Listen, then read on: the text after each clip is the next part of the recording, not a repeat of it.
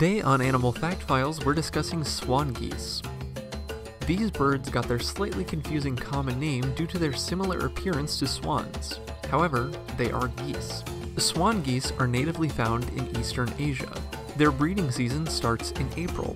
During this time, single mating pairs or loose groups of geese can be found in wetlands, near lakes and rivers, and even in mountainous regions.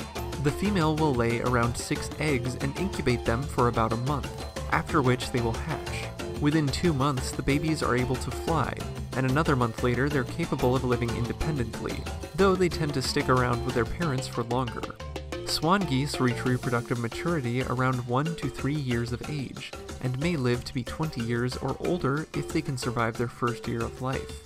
During the winter months, swan geese migrate south, heading towards central and eastern China for the winter. During this migration, swan geese will stop along their journey as opposed to flying straight through to their destination.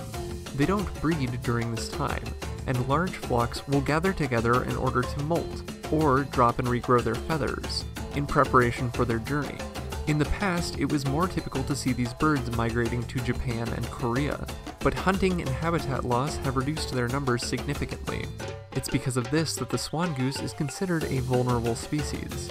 Thankfully, many sites the geese frequent are currently under protection in an effort to help conserve this species.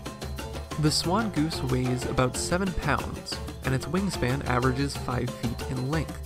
Wild swan geese have all black beaks with bright orange webbed feet. Their head and neck are bicolored, the top half being dark brown and the bottom half being nearly white. This fades to a creamy beige present on their breast plumage. Their wings are brownish gray.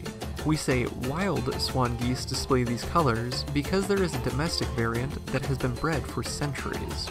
The domestic swan goose is called the Chinese goose. Though they sometimes retain their wild colors, Chinese geese are usually white all over. The reason for this is because white plumage is considered more aesthetically pleasing. The domestic Chinese goose has anatomical differences to wild swan geese. Can you spot some of these differences? Because Chinese geese have been raised for consumption, it was pretty typical for the biggest, fattest bird to be bred, so they aren't strong flyers like their wild counterparts. It's pretty common for domestic geese to develop orange patterning on their beaks, where the wild swan geese does not present this trait. Swan geese were also domesticated for their eggs, and because they make really good lawnmowers.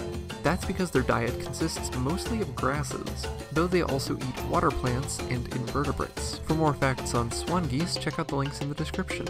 Give a thumbs up if you learned something new today, and thank you for watching.